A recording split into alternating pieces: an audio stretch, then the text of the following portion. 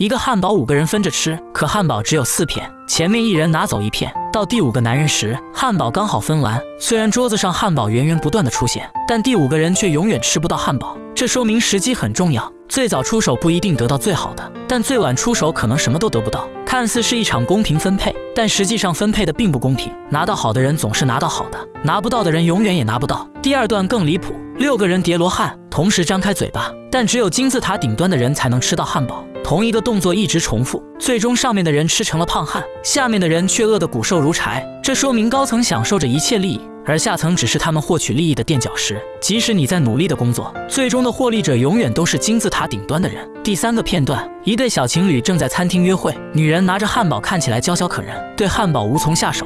但当男人扭头的瞬间，女人便张开血盆大口，一口吞下了整个汉堡。等男人转过头时，女人又变成原来的样子，动作一遍遍的重复着。可男人看到的始终都是女人温柔可人的一面。这说明眼见不一定为实，讽刺现实生活中那些表里不一的人。第四个片段，三个男人切汉堡，可无论他们怎么切，汉堡一点都没有少，一直都是原来的样子。就像现实生活中的我们，永远有干不完的活，刚处理完手头上的事情，下一件事情立马就给安排上了。第五个片段，四个人手牵手围着汉堡转圈圈，眼看汉堡就在眼前，但谁也吃不到，就像老板每天给你画的饼。看起来美味可口，可永远都得不到。第六个片段，老人背后每隔一段时间就会有汉堡长出，下面坐着六个张开大嘴嗷嗷待哺的巨婴，等着汉堡自动掉进嘴里，讽刺那些不劳而获只想着啃老的人群。第七个片段，一个饥饿的女人盯着取餐口，张开大嘴等待汉堡进嘴，看着汉堡掉落，却不愿伸手去取。虽然汉堡一个接着一个的送了出来，可女人却始终吃不到汉堡，